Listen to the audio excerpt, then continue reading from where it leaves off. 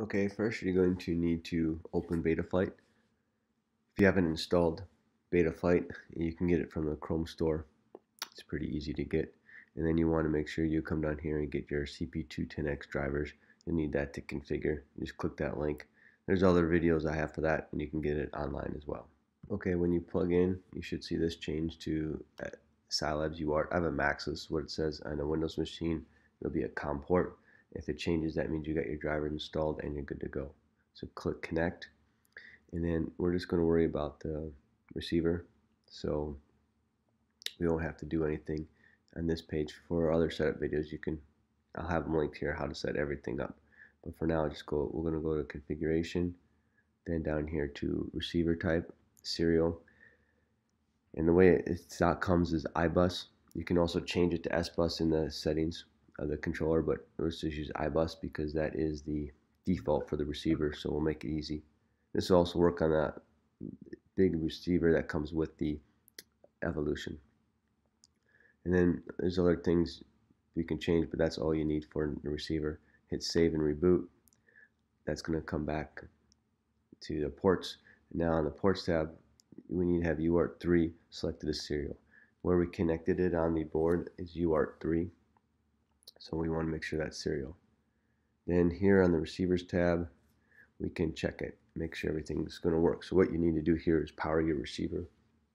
So that means you have to put the flight control or the battery on the drone and then also turn on the transmitter. Make sure your props are off and your antenna is on your VTX. So here what you're looking for is to see that each channel moves in the proper direction and that we've got 1000 to 2000 at the end ends and 1500 in the middle.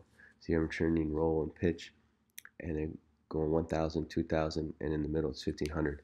That's really good that the evolution comes default that, that way you don't have to change anything. Okay, here if you move your stick and the wrong channel is moving, you need to go over here to channel map to change how the layout is. So if your throttle is moving your aileron or something like that, and the AETR refers to aileron, elevator, throttle, rudder. So you want to make sure that the stick that you're moving moves the appropriate channel, and this is where you can change that. Now that you know what those do, you can go over here to your modes tab, and you can set your modes up. To figure out which switch is which on the transmitter, flick the switches in the back and that will move the aux channels and you'll be able to figure out which one is which.